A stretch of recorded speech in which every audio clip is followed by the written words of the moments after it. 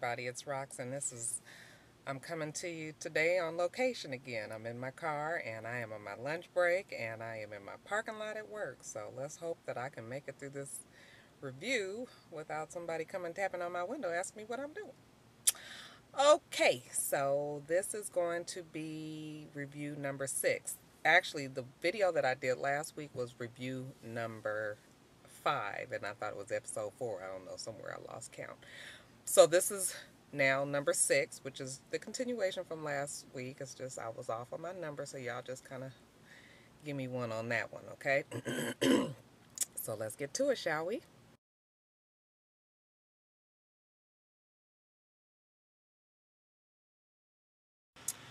Okay, so Tasha is at the Sunbeam meeting and she is bragging on the fact that Rick Fox wants Rick Fox wants to meet her and take her out um, for dinner.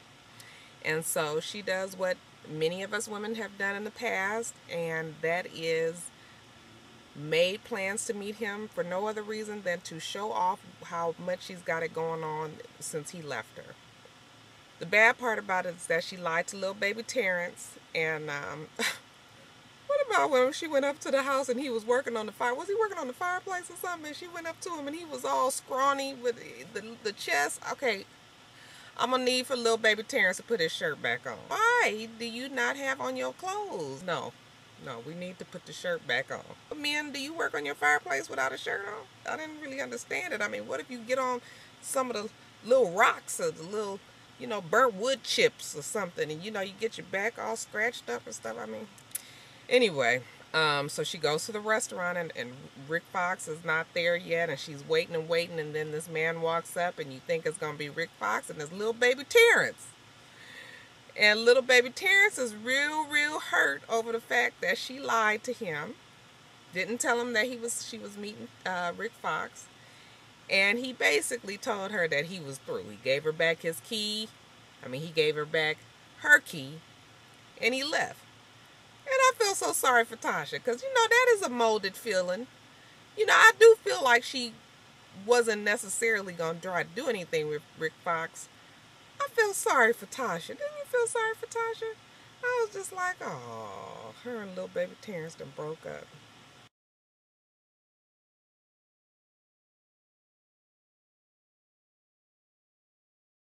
Okay, so this week Melanie is in charge of the Sunbeams and uh, you know, uh, Kelly, who used to be the big time Sunbeam girl, is now out of it because she's not married to Jason Pitts anymore. But you can tell that she misses it. She brings her reality show to, to Melanie's house and uh, tries to get in on the meeting.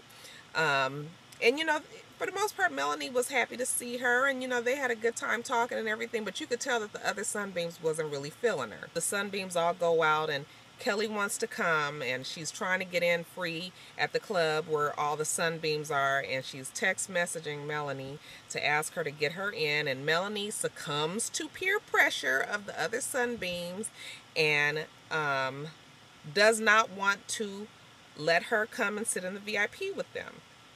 And I thought that was really, really jacked up of Melanie because this is your girl.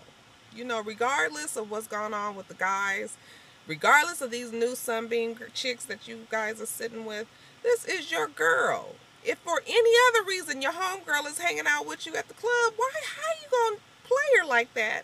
Okay, so you pull her in, and then you just totally mean girl her to death by telling her the way, even though what she said was needed to be said, but it's like the way you say it. Like I'm not gonna pull my have my homegirl, me and my girlfriends out, and I'm going to tell my girlfriend in that way that you look like a hoe, you uh, are ridiculous, blah, blah, blah. You know, I'm going to tell her as a friend when we are out or we just sitting at the house or I'm talking to her on the phone. I'm not going to put her on blast at a club like that and just put her out there like that. I think Melanie, I'm telling you, I don't like, I just don't like, I mean, I've never been a big Melanie fan, but this time I really don't like it. I think it's because of the whole snob uh, effect that they have. And, uh, you know, you guys, I don't like snobs. I cannot stand a person that thinks that they are better than someone else. I don't care if that person has all of the money in the world. They are a regular human being just like anybody else. I do not like a snob. And I think that's why I've got this problem with Melanie because she, they have really made her become this privileged, mm, just, I just don't know. I just, I don't like it. So I, I don't have nothing else to say about Melanie and Dirk and, and, and Melanie. I just don't have nothing else to say about it.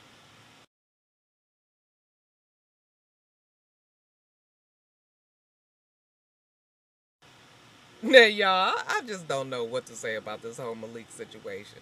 Malik is at the rehab, and last week when he was all like this, we've gone from that to now he's tough boy Malik again. So he's at the meeting, and he's talking about, you know, he he doesn't believe that he has a problem, which is fine because a lot of people don't believe that they do, especially when they were forced to go and it wasn't their decision really to go, you know, to rehab he checks himself out of rehab. He talks to this girl, and the girl, you know, basically gives him the brush off. And he's just like, oh, well, I'm Malik. And I, he checks himself out, and he's partying, and he's having a good time. But, y'all, can we talk about the whole big thing in the bathroom at the club? so, Jason and Derwin have a come to Jesus meeting in the bathroom with, with Malik. And when he decided that he didn't have a problem, he was never going back to rehab and went into the bathroom stall, that y'all, I'm telling y'all, that just did it for me. That did it for me. Why are you running in the bathroom stall though? I don't understand. I don't understand. you gotta come out eventually. It's just it was stupid. And you know, the talk, they didn't say anything that was really all that heart changing. So all of a sudden he decides he's gonna, go, you know, y'all, I'm just, I just can't stand the show this week.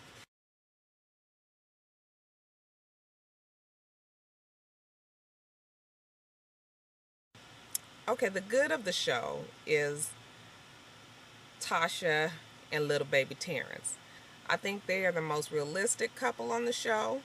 I think out of all of the actors on the show, little baby Terrence is doing the best, which is just unreal to me. And then the bad is everything else.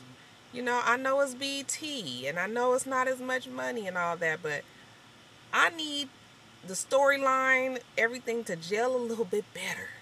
You know, I need the characters to stay the true to themselves, to make a little bit more sense. I need them to act the same every week. I need just more. Y'all didn't like the show. I just didn't like it. But anyway, that's it, you guys. I got to get back to work. I'm on my lunch break, and I made it through without nobody coming knocking on the window. And if you can see the glisten on my face, I'm starting to sweat. It's hot in here. It's like 65 degrees in Atlanta today. Can you believe it? Rate, comment, subscribe. Big blinking words. Subscribe, subscribe, subscribe. And then you guys, even if you don't subscribe, just come back every week and visit with me. Until next time, rock stars. Bye.